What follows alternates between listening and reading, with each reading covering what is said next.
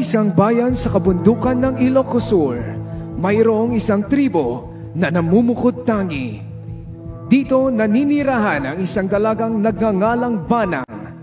Sa karatig tribo naman ay may isang binatang nagngangalang Insyong na naniligaw kay Banang.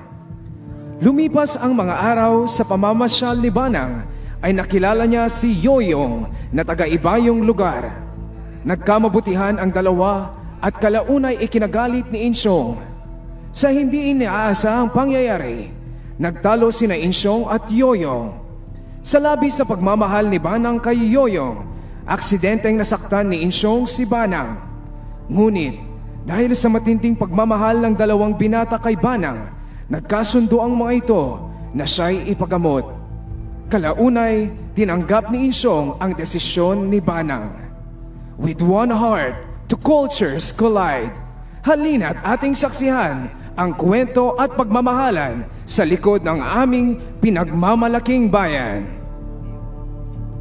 Put your hands together for Binuyog Banayoyo!